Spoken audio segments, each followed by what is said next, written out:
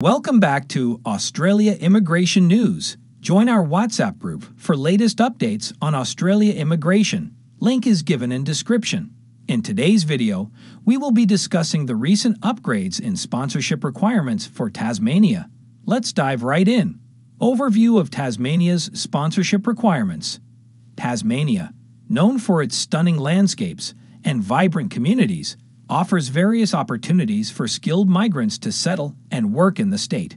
However, it's important to stay updated on the sponsorship requirements to ensure a smooth immigration process. Recently, Tasmania has made some significant changes. Changes in Tasmania's occupation lists. One of the key aspects of Tasmania's sponsorship requirements is the occupation lists.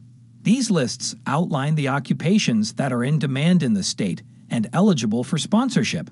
It's important for prospective migrants to check if their occupation is included to determine their eligibility. Tasmania has recently updated its occupation lists, adding new occupations while removing some others. This means that certain occupations may have better or new opportunities for sponsorship. Updated criteria for sponsorship. Alongside the changes in occupation lists, Tasmania has also revised its criteria for sponsorship. This includes updates in the required work experience, language proficiency, and educational qualifications. Prospective migrants must ensure that they meet these updated criteria to be eligible for sponsorship. It's crucial to review these changes and understand how they may affect your immigration plans. Strengthening ties with local employers.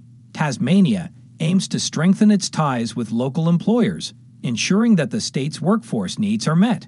As part of the sponsorship requirements, applicants are often required to secure a job offer from a Tasmanian employer. With the recent upgrades, Tasmania may have implemented new measures to facilitate this process, such as enhanced networking opportunities or streamlined employer engagement programs prospective migrants should explore these avenues to improve their chances of securing sponsorship. Impact on skilled migration to Tasmania. These upgrades in sponsorship requirements may have a significant impact on skilled migration to Tasmania. On one hand, it could open up new opportunities for individuals whose occupations have been added to the lists. On the other hand, those whose occupations have been removed may need to explore alternative pathways or consider other states for their immigration plans. It's important to weigh the pros and cons and stay informed to make informed decisions. Resources and support for prospective migrants. To navigate through these changes and stay up to date with Tasmania's sponsorship requirements, prospective migrants can access a variety of resources and support.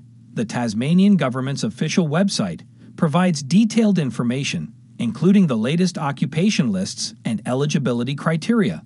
Additionally, seeking advice from immigration consultants or registered migration agents can provide valuable insights and assistance throughout the application process. That wraps up today's segment on Tasmania's upgrades in sponsorship requirements. Join us next time on Australia Immigration News for more updates and information.